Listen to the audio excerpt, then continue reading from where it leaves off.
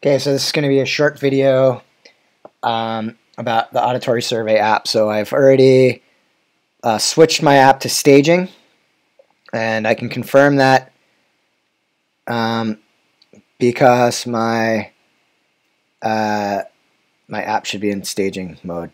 And when I logged in, I, I long clicked on the bottom below the login, and then I already fetched all the data. So you know you have the survey app. Uh, you want to make sure your app your version right now is 6.4a. And when I click this plus, I click new point feature, I can add an auditory survey. So it automatically takes a point for where I am. I can rename my survey if I want.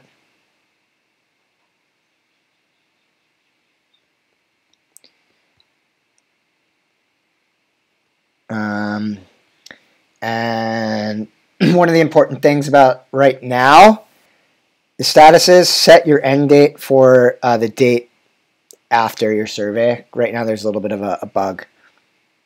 Pick the observers and fill in the rest of the information if you want.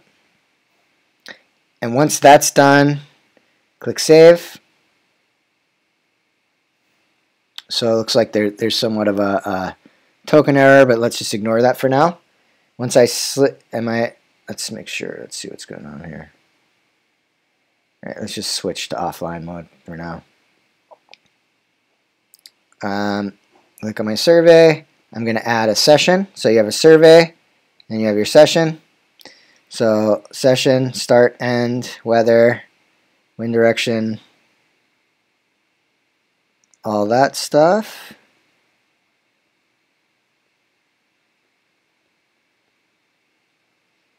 And once that's good, you save, and you should be able to go back into the session. And right now, it looks like it's not letting me add an observation into the existing session. But what you can do is if you go back to the map and you click uh, work and you click session, we should have our session right here and we should be able to add observations. But I guess that's a bug. So I guess you can click uh, work, observation, add observation, pick the session, and um, fill in the observation form. So that's kind of the way it's set up right now. So some of the, I can kind of go over the things that we're going to fix here for you in a second. Right? So once, I think right now there's a little bit of bug. Once I get one observation in there, I'm pretty sure, no, before it was showing the sessions. You have a survey, session, yeah.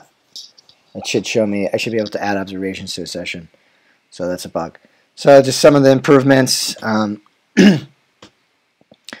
right here, ground calling locations. This will be a, a number thing. Within sessions, uh, these will be numbers, binocular minutes. Minutes will be numbers. Um,